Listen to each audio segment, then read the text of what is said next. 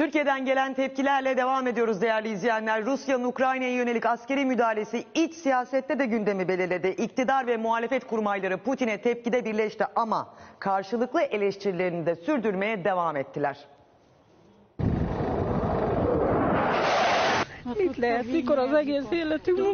Bu meselenin dahi Türkiye'de bir iç politika malzemesi yapılmasını ciddiyetsizlik olarak görüyoruz. siyaset üstü bir mesele olarak ele alınmasını, hükümetin bu hadisedeki tutumunun Türkiye Büyük Millet Meclisi'nde istişareyle belirlenmesini istiyoruz.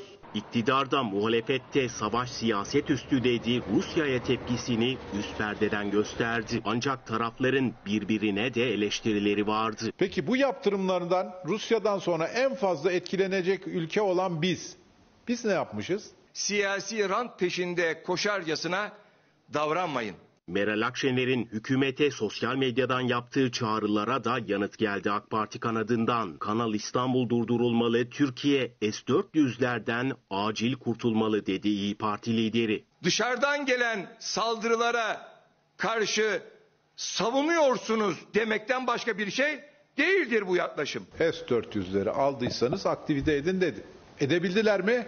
Edemediler. Sonuç dünyanın en pahalılığı, hu- hurdalığı bizde oldu. Türk ekonomisinin savaşa kırılgan yakalandığını savundu CHP sözcüsü. İktidar partisinden yanıt gecikmedi. Bu savaşın çıkacağını bile bile neyinize güvenip de bu kur korumalı mevduatı getirdiniz? Alacağımız tedbirlerle ekonomik dalgalanmaların en az hissedilmesine dönük bu süreçleri yöneteceğimizi ifade etmek isterim.